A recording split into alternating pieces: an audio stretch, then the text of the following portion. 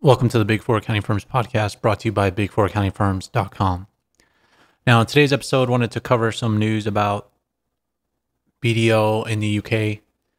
Um, some news has come out that they, the BDO partners in the UK are earning more than Big Four accounting firm partners, and they're not earning more than all Big Four accounting firm Big Four accounting firm partners, but they are earning more than KPMG and Ernst Young reportedly BDO partners are making, and this is according to City AM, which is a website in the UK.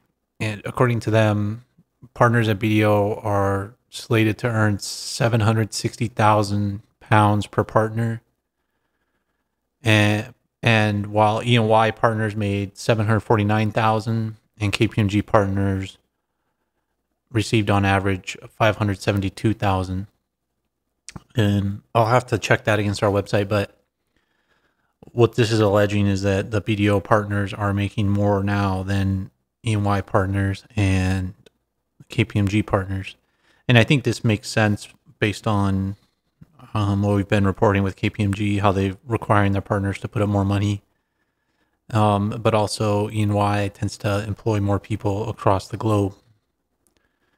And this also says that staff bonuses totaled 19 million pounds, which is almost 200% increase of like total pool bonus, total bonus pool over the year prior.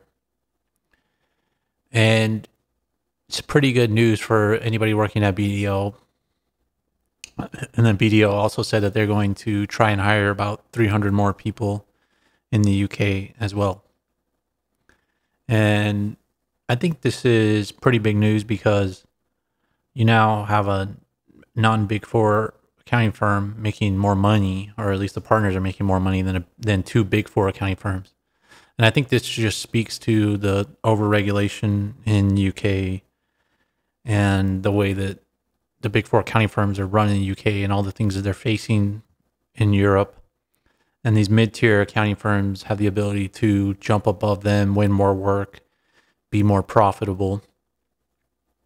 Especially with KPMG, with all the headline risk with KPMG, BDO has the opportunity to really jump ahead of them, not globally, but in the UK. And I think uh, other firms could also do this too.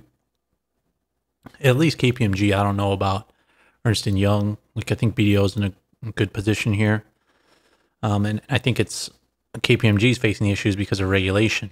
But another interesting thing to note is that that BDO has their own issues. The FRC is looking into BDO as well over their audit of a construction company, similar to what's happening to KPMG. And at the end of the day, it's important to remember that these are accounting firms. They're all run pretty much the same. It's just that BDO has less headline risk than KPMG does. So I think they're poised to to win more work uh, going forward that KPMG might have won in the past and that BDO has won a lot of audit clients, and that's why they won all this additional revenue. So, to the extent that BDO wants to pick up more audit work, then they can, but they're also they also need to hire more people, as they said, uh, before they can win more audit work. Because if you win more audit work with tens of millions more, then you also need to staff those projects. So there's a lot of work ahead of them uh, to keep this pace up. Uh, but but there's a lot of potential here and, and, and any regulation around the world against the big four accounting firms uh, leaves the door open for these smaller accounting firms until the regulators catch up to them as well.